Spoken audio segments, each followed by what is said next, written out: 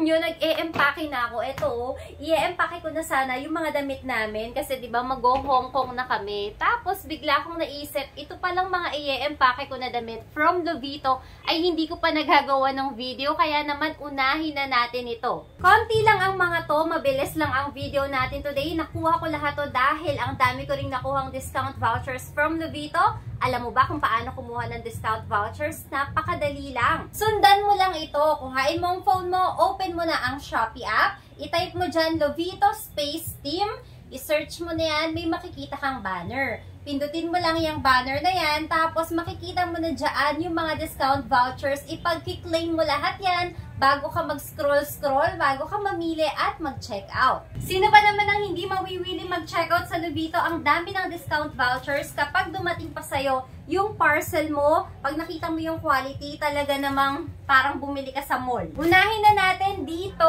ito mga sis, freebies lang siya medyas. Ayan, mga medyas. Makikita nyo naman agad kung yung bibilhin nyo ay merong freebie. Kapag ka i-review nyo na, yung i-check out nyo, makikita nyo agad kung meron ba siyang kasamang freebie. Minsan, mga medyas. Minsan naman, panty. Minsan, yung ano, yung pang-ipe. Unahin na natin sa mga damit na sinuot ko nung birthday ko. Ito siya mga sis, ba diba? Sobrang ang lakas maka-fresh. Isa-isahin natin yan. Ito yung top.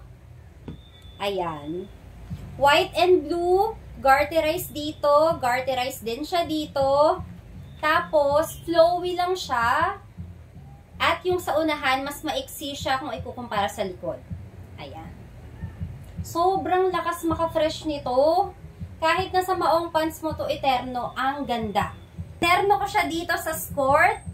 O, ba diba? Kung naghahanap kayo ng mga skirt, kung mahilig kayo sa skirt na katulad ko, sa Luvito po, napakarami. Hindi siya super nipis, hindi rin naman siya makapal. Kaya dapat yung panty mo kapag ka ito ang susuot mo, kung hindi kulay white, kulay cream, kulay khaki, ganong mga kulay. Di-zipper siya sa gilid. Ayan. Ang size ko po sa Luvito, small.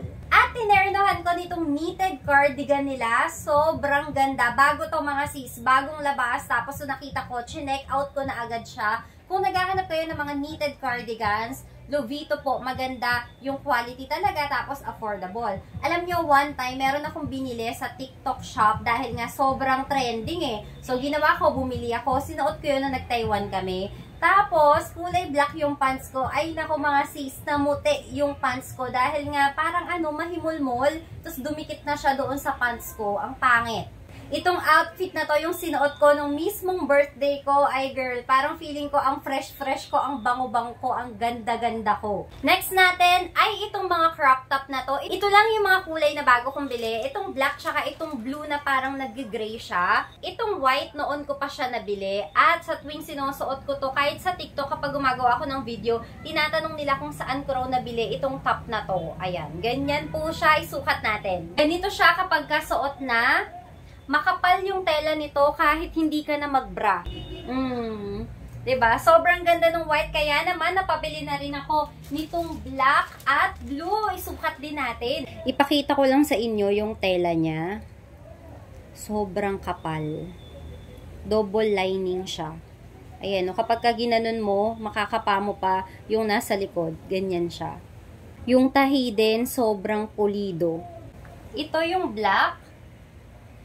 Sobrang perfect nito dahil napakalamig nung tela sa bala. Tapos yun nga, sabi ko kanina dahil makapal siya, kahit na hindi ka magbrasis, walang babakat. Wala akong bra.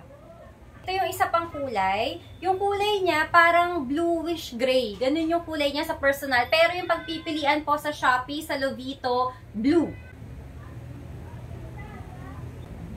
Ang ganda, no? Kahit pang swimming pwede to eh. Next naman natin ay itong long sleeves na to. Manipis lang siya guys ha. Alam nyo, hindi ito yung ina-expect ko. Kasi parang iba yung picture kesa sa personal. Tignan nyo yung picture dito sa gilid. Akala ko parang khaki yung kulay niya. Parang dirty white ganun. White na white naman pala siya. At manipis. Kita nyo yon Manipis lang siya. So, ang ginawa ko, yung crop top ko kanina, yun yung sinuot ko na panloob. May garter din siya dito.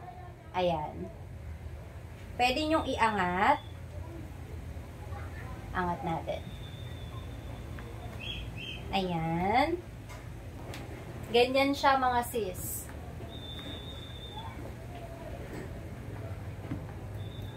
Very manipis lang siya, pang summer talaga.